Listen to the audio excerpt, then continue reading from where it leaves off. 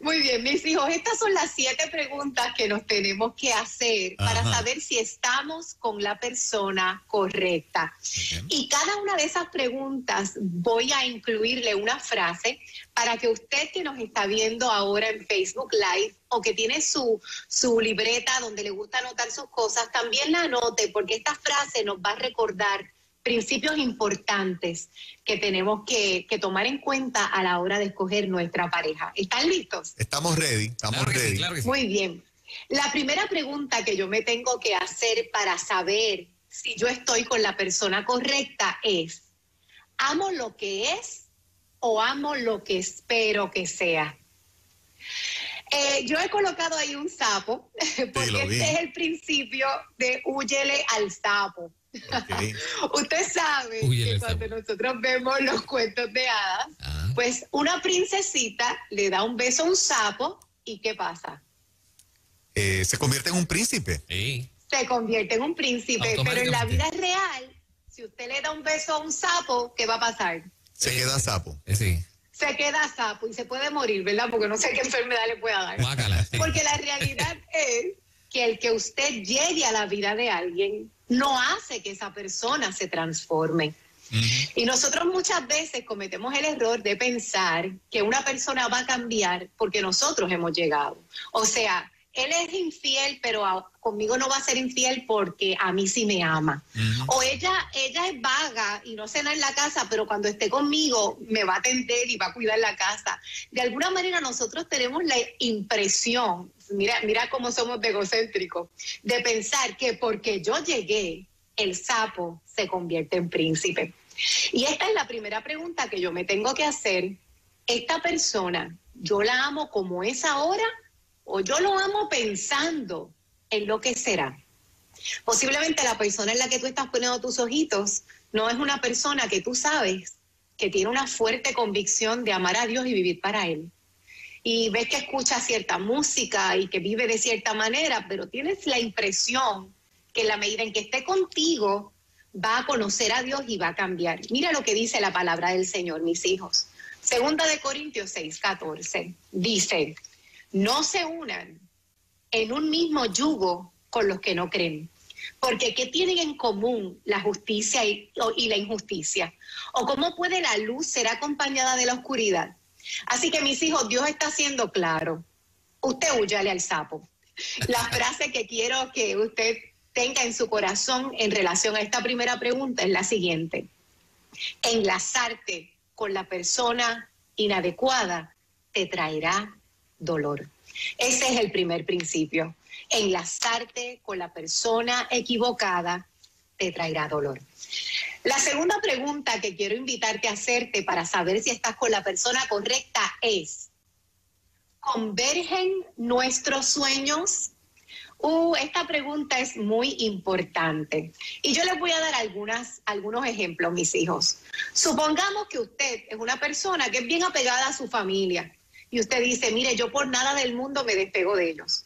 Pero la persona en quien ha puesto sus ojitos es una persona que quiere vivir fuera del país, que quiere vivir en Europa, en Estados Unidos, en, una isla. Si, por ejemplo, usted de Estados Unidos se quiere venir para Puerto Rico, los sueños no convergen. Él quiere una cosa, usted quiere otra. Quizás usted quiere hijos y la otra persona lo que quiere son perritos, no quiere hijos. Sus sueños convergen porque la realidad es que todos somos diferentes y eso está bien. Aquí lo importante es, ¿tus sueños convergen con los míos? Porque hay una diferencia entre ser distintos. Por ejemplo, quizás usted es una persona, en mi país dicen botarata, le gusta, coge los chavos y así mismo los bota. Y quizás su pareja es bien buena administrando. Pues eso es bueno porque se pueden complementar.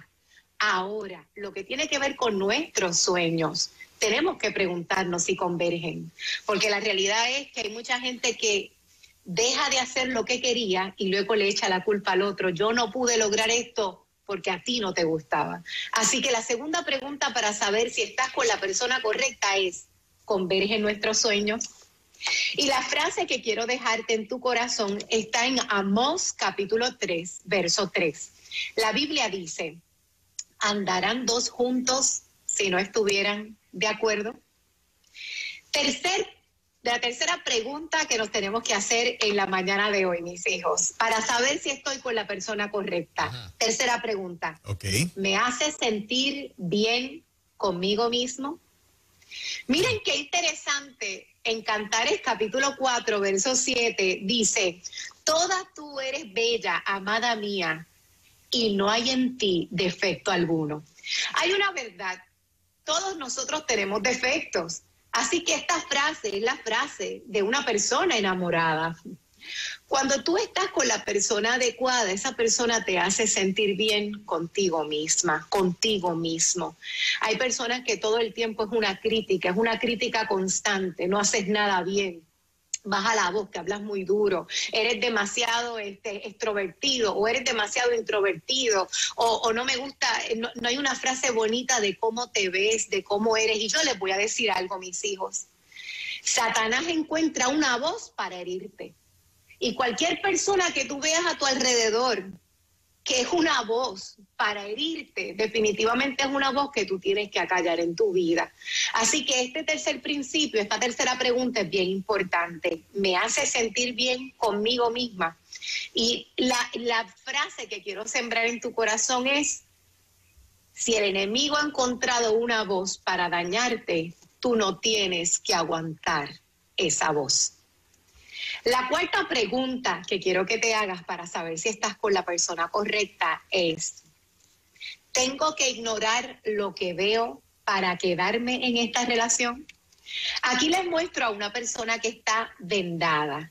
Y está vendada porque aunque ve, no es ciega, ha decidido no ver, que son dos cosas distintas. Y esto me acuerda la historia de Sansón y Dalila. Mis hijos, yo no sé si ustedes recuerdan que en tres ocasiones, en tres, Sansón le dice a Dalila cómo su fuerza puede ser quitada. Ella le decía, dime, dime, dime, ¿cómo se te puede quitar la fuerza? Y ahí iba Sansón la primera vez, confiando en ella. Ah, bueno, pues si tú me pones siete cuerdas frescas, se va mi fuerza. Y mira qué casualidad que al otro día amaneció con qué? Con las siete cuerdas frescas. Mm. Después viene, vuelve Dalila. Mira, eso no era, me engañaste, ¿qué es lo que es? Y viene Sansón otra vez. No, es que son con sogas nuevas. Y mira qué casualidad que al otro día cuando se despertó tenía las sogas nuevas. Y así consecutivamente, aun cuando Sansón, mire, Sansón no podía ser tonto. Están haciendo algo en tu contra, pero tú no lo quieres ver. Wow. Y yo quiero que tú te preguntes en esta mañana si para que tú te quedes en esta relación, tú tienes que hacerte el ciego, tú tienes que hacerte la ciega, porque si es así, tú no estás con la persona indicada. Y yo quiero hacer una salvedad a todas esas mamás solteras que me están escuchando. Si en tu casa tú tienes hijos y tú has comenzado una relación con un varón, yo quiero que tú nunca te pongas la venda, mis hijas. Es importante que tú estés con ojitos bien abiertos. Es importante que tú le preguntes a tus hijos cómo se sienten con esa otra persona. Porque si tú te tienes que poner una venda para continuar en una relación, Hmm. entonces tú no estás en la relación correcta. La quinta pregunta que me tengo que hacer para saber si estoy en la relación correcta es, ¿me provoca más lágrimas? Ah, espérate, que yo te tengo que decir la frase. La frase cuatro es, no te saques los ojos. ¿Cómo terminó Sansón? Con los ojos sacados, pero la realidad es que él se los había sacado antes que otros se los sacaran. Así que no te saques los ojos. Excelente. Quinta, Vamos a la me quinta. provoca más lágrimas que sonrisas. Esto es importante. Hay relaciones, mis hijos, que son un drama. Que si usted le cuenta la historia a otra persona, hace un libreto de novela. Y esto nosotros tenemos que considerarlo. Si nosotros seguimos con la historia de Sansón y Dalila, hay un verso que a mí me mata. Está en jueces capítulo 16, verso 16.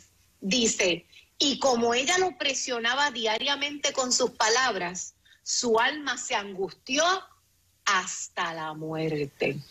Y ahí es que Sansón le declara la verdad. Mis hijos, yo quiero que tú pienses en esta mañana si la relación en la que tú estás te está trayendo tanto dolor hasta la muerte que tú dices, o sea, ninguna relación es fácil. Todas las relaciones tienen sus desafíos, pero esta relación me está deprimiendo, me está trayendo más dolor que alegría. O sea, ha sido así toda la vida. Esto es, si no se pelea por una cosa, se pelea por otra. Si no, o sea, esta relación en realidad es una relación enferma o es una relación sana. Yo quiero invitarte a que tú pienses en eso porque definitivamente si no hay crecimiento, y yo les quiero decir algo, hay personas que dicen, no, es que ya yo he estado 30 años en esta relación, pues yo quiero decirte que tú puedes quedarte con lo que aprendiste y liberarte de una relación de dolor. Y yo no estoy a favor del divorcio, yo pienso que Dios, que no hay cosa más linda que un matrimonio unido y que van a haber momentos desafiantes. Pero si usted está conociendo a alguien y lo que hay es drama y drama en esta relación y lo que hay es dolor y dolor, mire, huyale a ese sapo, huyale a ese sapo. La frase que quiero dejarte es, puedes quedarte con, la, con el aprendizaje y liberarte de la relación enferma. En la sexta pregunta que quiero que te hagas para saber si estás en la relación adecuada es, ¿qué piensan los que me aman? Proverbios 12:15 dice, al necio le parece bien lo que emprende, pero el sabio escucha el consejo.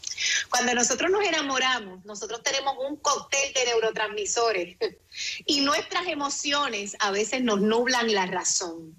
Pero la gente que nos rodea y que de verdad nos ama, no están nublados por neurotransmisores. Así que ellos pueden ver, ellos saben lo que a ti te hace feliz, lo que tú necesitas. Así que en lugar de cerrarte, escucha. Hace un tiempo atrás me decía una mujer eh, que está pasando por un proceso bien doloroso, este, bien doloroso. Me decía, tú sabes que lo lindo es que mis papás siempre me dijeron que esa persona no era para mí. Mm pero yo elegí no escuchar. Y ahora, eh, de adulta, siente que perdió la vida al lado de la persona equivocada. El sabio escucha el consejo, mis hijos. Así que no lo veas todo el tiempo como un entrometimiento. Hay personas que ciertamente solo ven lo malo, pero tú sabes que hay personas que no son así, que son objetivas, que te aman, que quieren tu bien. No le pelees a ellos para quedarte con lo que te hace daño. Escucha el consejo. Así que la sexta pregunta es qué piensan los que me aman. Y la séptima y última, para que consideres si estás con la persona adecuada, es, ¿me siento atraído románticamente? Miren, mis hijos, usted no puede estar con alguien que no te atraiga como pareja. Y esto yo lo he escuchado muchas veces en los jóvenes que están dentro de una congregación local. Ay, Cristi, es que él es tan bueno. Pues yo quiero decirte algo, mis hijas si es bueno, pero no te atrae, es malo para ti. a ti te tiene que atraer románticamente la persona. No es que una profecía, tengan cuidado con las profecías, mis hijos, las profecías vienen a confirmar lo que ya Dios te ha dicho a ti. Nosotros no necesitamos intermediarios entre Dios y nosotros. Así que cuando usted va a, entrar en una relación, para usted saber que usted está en la relación adecuada, realmente te tiene que atraer románticamente. Esa persona te tiene que gustar, tiene que despertar en ti el querer abrazar, el querer besar, tiene que eh, despertar en ti una atracción romántica. De otra manera, deja esa relación como una amistad, porque una persona buena a la que no amas es algo malo para ti. Así que estas son las siete preguntas que nos debemos de hacer para saber si estamos con la persona correcta. Súper interesante, súper eh, valioso. Hay gente que lamentablemente opta por, en vez de vivir felizmente cada día con su pareja, están como muriendo, ¿no? O sea, viven una relación que es una agonía, ¿no? Así es. Así es, y es importante eh, aclarar esto, Fernando. Y yo quiero, ¿verdad?, que no es lo mismo cuando tú estás comprometido ya con una persona en matrimonio, a cuando tú vas a escoger a una persona. Miren, después de la salvación, si hay una relación, una decisión importante que hay que tomar en la vida porque impacta todas las áreas de tu vida, es con quién me voy a casar. Así que si usted está en ese pre, ¿verdad? En ese estoy buscando, estoy viendo, estoy tanteando, estoy conociendo a esta persona, pues mire, usted está en un excelente momento para tomar buenas decisiones en su vida. Y si usted está en una relación de matrimonio, pídele al Señor que rodee con su gracia, con su sabiduría esa relación, ¿verdad? Usted ha prometido y ha pactado con Dios cuidar de esa persona. Así que den el máximo para que usted pueda ser fiel a esa palabra, a esa promesa y que Dios reconstruya, porque ¿sabe qué? Dios sí puede convertir los sapos en príncipes. Tremenda. Una